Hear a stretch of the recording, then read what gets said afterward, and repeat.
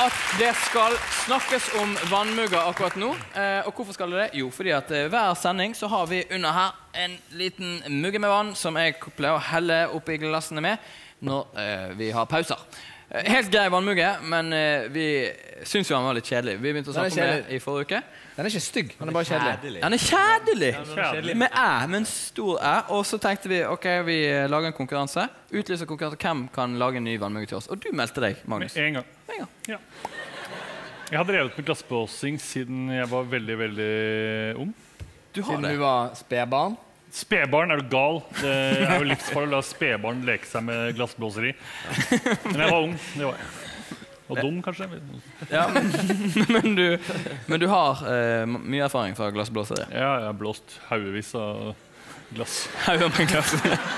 og eh, så måtte du ha noen å konkurrere mot, og det ble deg, Vegard. Ja, det ble det. Jeg tenkte det at eh, Siden vi skulle lage en karaffel til vann, så tenkte jeg at eh, det må jeg jo klare å gjøre bedre enn Magnus. Ja, Hva du sa for noe, da?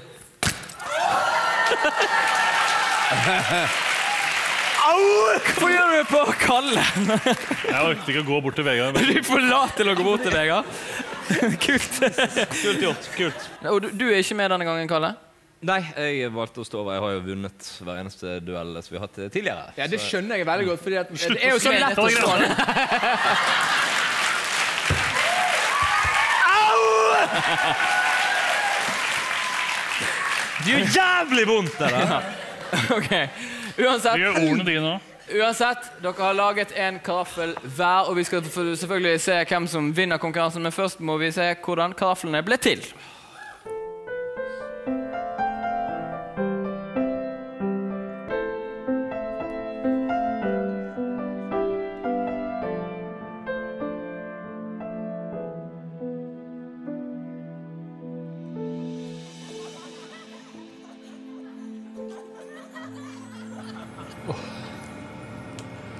Jeg har alltid hatt en veldig fascinasjon, en, eh, en forkjærlighet for, for glass. Og som barn så var nesten alle lekene mine laget av glass.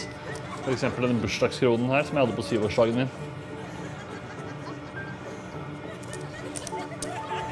Da jeg fikk høre at det var Vegard jeg skulle konkurrere mot, så tenkte jeg Ai, ai, ai, ai, ai, ai, ai. Ai, ai. Dette her blir walkover for meg. Jeg tror ikke han har bygget eller laget noe i hele sitt liv. Den karaffelen kommer til å bli både stygg å se på og umulig å drikke av. Mitt største fortrinn framfor Magnus er motorikken. Der tror jeg Magnus kommer til å slite mer. Eh, Det er der jeg tror jeg kommer til å ha en, et overtak på Magnus.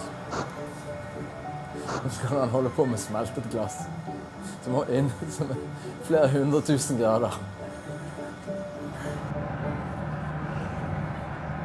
Glovarmt her nå. Det er minst 100 grader inn i den ovnen. Når du skal blåse glass, så krever det Jeg tror ikke det er noe alle kan gjøre. Det krever at du mestrer det varme materialet. At du kan bli ett med det og la materialet bevege seg sammen med deg. Jeg tror kanskje det skar seg litt på slutten der. Eh, vi får se. Estetisk sett så er jeg veldig fornøyd med karaffelen. Eh, funksjonelt sett I dag har det gått veldig veldig fint. Eh, Jeg har kommet i mål og fått laget en veldig veldig praktisk eh, karaffel som kommer til å gjøre vannhelling til en drøm i studio. Så nå gleder jeg meg bare til å avduke den.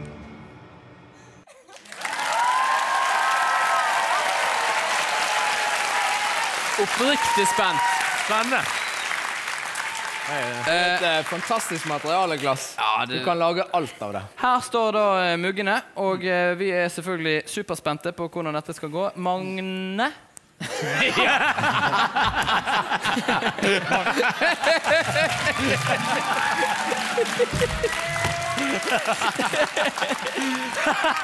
Magne er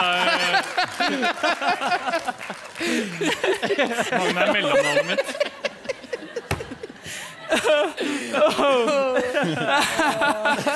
Det var sesong tre. Tusen takk for oss. To flotte år. Jeg lo ikke av det, jeg lo av deg. Hvorfor det? Fordi at du så så glad ut. Magne, eh, eh, kan du snakke litt om din eh, karaffel først? Ja, selvfølgelig. Er du fornøyd? Eh, glassblåsing var veldig veldig mye vanskeligere enn det jeg husket det som fra barndommen. Har du et navn på kunstverket ditt? Ja. Eh, min eh, karaffel heter Det trehalsede trollet. Ok, Jeg gleder meg til å se. Kan vi få en avdukingsvirvel? Ja. Oi! Oi, oi, oi!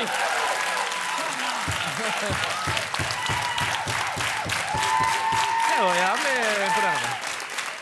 Jeg var ikke forberedt på eh, farge. Nei, jeg brukte mye farge. Jeg har alltid likt å bruke mye farge. Ja, Det så jeg når du drev på det. Men herre Jesus, det, du ser ut som du er en kvinne i 50-årene som har fått holde på Kan jeg få, kan jeg få Ja, ikke, ikke nærmere? Og det Fordi at jeg sto og så på når han lagde det, og Ja. det jeg la merke til, var at du, du klarte ikke helt å holde den helt riktig inn i ovnen. Mm. Så av og til så dunket du borti. Det er en del stein i glasset her. Ifra liksom siden Skal vi være med og disse andre før vi Ja, ja, nei!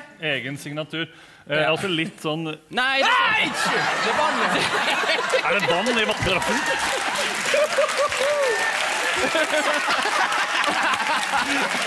Magne! Magne, Magne, Magne. Magne, Magne, Magne. Gode, gamle Magne. Jeg tror vi, jeg tror vi lar deg holde kjeft litt og bare koke. Og så går vi over til Vegard, hvis det er greit. Ja. ja. Men foreløpig har du gjort en kjempeinnsats. Det var ikke, det var ikke meningen å, å disse han. Det var meningen som en sånn kuriositet. Kult, for nå er vi over på din uh, yep. lille sak. Eh, er du fornøyd? Eh, Ja. Hva har du kalt uh, verket ditt? Jeg har kalt den den enhalsede svanen. Oi! Det er ikke enhalsede. Jo, svaner Ja. Ambisiøst. OK, avduk. Virvel.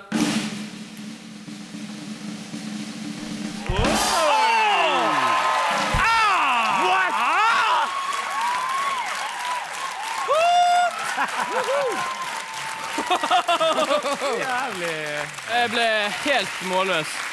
Men jeg ble jo lovet at han skulle være full med vann. Hvorfor ikke det vann igjen? Det vet jeg ikke. Snakker vi en uh... Eh, Det er kanskje Er det ikke helt mulig. Er, Kanskje ikke mulig Er det en som har grodd litt igjen? Jeg lurer på om det er en som har stengt igjen ventilen her. Er det noen som har lagd en litt for stilig karaffel, kanskje? Uansett, det er jo jeg som er dommer i dette panelet her. Og eh, dermed så uh, skal jeg uh, avsi en vinner, og det gjør jeg etter to kriterier. Om han er fin å se på, og om han er brukende. Og eh, når det gjelder fin å se på 100 Ja.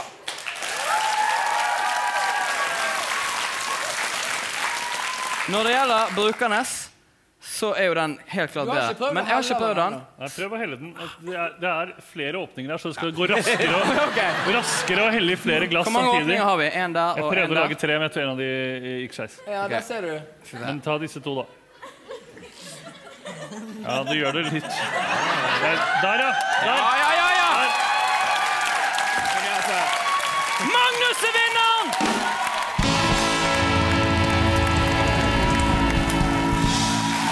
Endelig. Fikk jeg. Fantastisk.